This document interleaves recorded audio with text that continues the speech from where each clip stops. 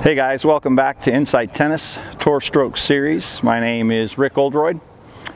Today's video is going to be on the backhand slice and we talked a little bit about this in a, a previous video, um, video number one. This is actually going to be uh, video number two in this series that we're doing on the backhand slice.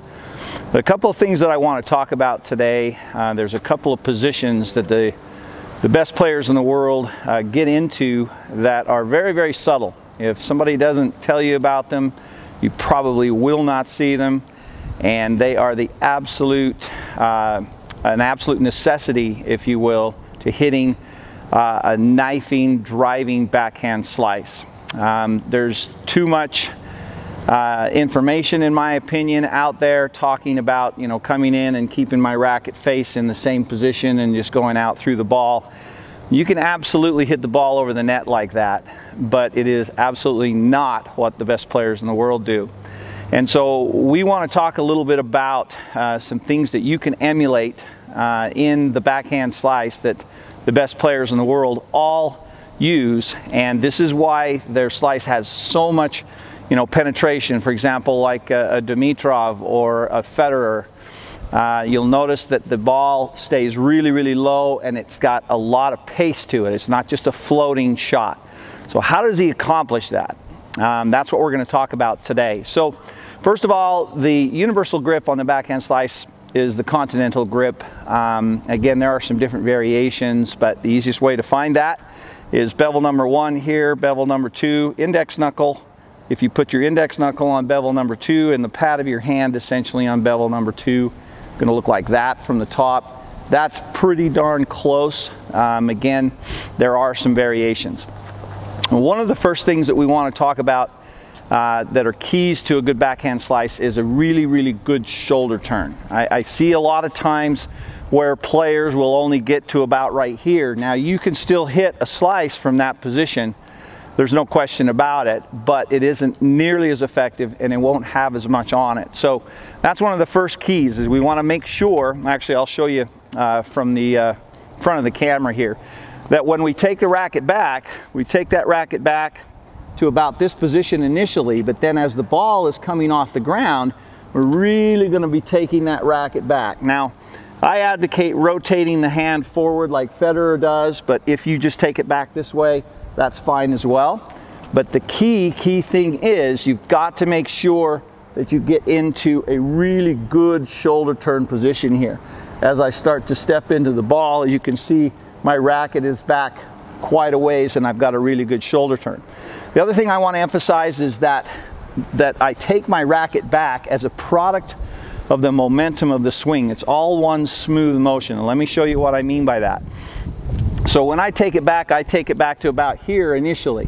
But then as the ball is, is coming and I'm ready to step into the ball, I'm gonna bring it back and I'm gonna rotate and I'm gonna come back down into the ball and through the shot, okay? That should all be one smooth transition. So that's the first thing. Really great shoulder turn, very, very important regardless of how you take the racket back. Make sure you get into a really good coiled shoulder turn position. That's number one. Number two is the second position that is absolutely critical, and I'm going to show you this from the side. When you take the racket back, if you rotate your racket this way like Federer does, that's totally fine. But as I come back and I get ready to start my swing down into the ball, I need to make sure that I, my racket gets to this position right here.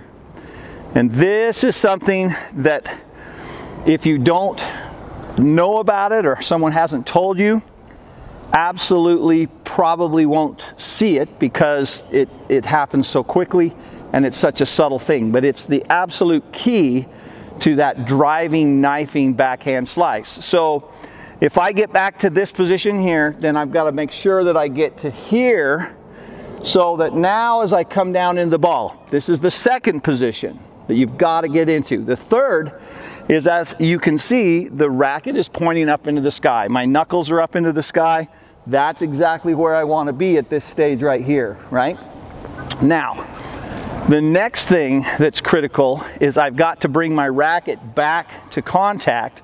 And in order to do that, I'm gonna have to slightly rotate my uh, racket head back into the ball, okay? And the reason why I have to do that is because my racket is open, okay? If I take my racket back like this and I get ready to step in, right? And I'm gonna come down now, notice that my racket is open, okay? If I come back down into that ball, my racket face is gonna be about like this when I make contact. And that ball is gonna have nothing on it. It's gonna go high. You can hit a slice like that, but it's not what the best players in the world do, okay? So once again, I've got this good shoulder turn. I take it back as a product of the swing as I'm ready to step in. Now, as I'm getting to this second position right here, now as I'm coming down, notice I'm driving from my shoulder here, coming down, I'm going to rotate my racket back to contact. Okay, watch again carefully. Down, rotation. Now that rotation is a huge power source. This is something that will take some timing to learn how to get this, but when you do, you're gonna pop your backhand slice probably like you never have before because this rotation, this move right here, where if this is the racket face, coming down and rotating back to contact and then through, whether you finish high or whether you finish low like Federer does, that's entirely up to you depending on the type of shot that you're trying to hit. But the concept of getting my racket open like this so that as I come back down into the ball, I have to rotate back to contact.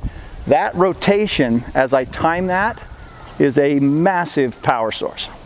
So again, in review guys, this is something that you're gonna have to go out and work on.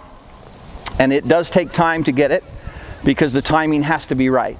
But if you wanna know how the best players in the world are hitting that slice and they're such a knifing shot, penetrating deep into the court and then staying low, this is the absolute key. These two things right here. Obviously the good shoulder turn goes without saying, but the key position you've got to get into is this one right here. My racket has got to be in this position with my knuckles up, my racket head up, or racket face rather up. Okay, now from here, I'm gonna come into the ball now. I've got my good shoulder turn as I come down. If I don't do something with my racket face to square it back up, I'm gonna be open at contact. So I've got to come down and make contact here. Okay, so here, here, there. Okay, and then I can just go through that ball to finish. Now, whether I finish high or whether I finish low, it's the concepts are the same. So I'm going to try and do this in slow motion so you can kind of see, but this is the key right here. Getting to here, then there, then there. Okay? So right here, here, boom. And then obviously I'm stopping the racket right there. I would normally allow it to go a little bit farther like that. But that's the idea, guys. So go out and practice this. Uh, again, the key points are good shoulder turn, racket in this position right there, so that I, as I come down into the ball, I rotate my racket to contact. Let me demonstrate that one more time. So I'm here, Good shoulder turn, ready to step in. Now I'm gonna come to this position and now I'm coming down into the ball and I'm gonna make contact with my racket face in about this position right here. Not that position, but that position. And then I can really come down and knife into that ball. Boom. And through that shot. Again, it will take great timing, but once you get it, you will be amazed at how you're gonna hit that backhand slice. So guys, again, hopefully this will be helpful for you. Go out and work on it. If you have any questions or comments, leave any comments below um, in the comment section. And uh, check out the website at insighttennis.com. Uh, email me directly at rick at insighttennis.com if you have any, any questions, if you'd like to uh, take lessons or clinics or any interest in those kinds of things, feel free to email me directly at rick at insighttennis.com. As always, guys, thank you so much for your time, and we'll see you next time out on the court.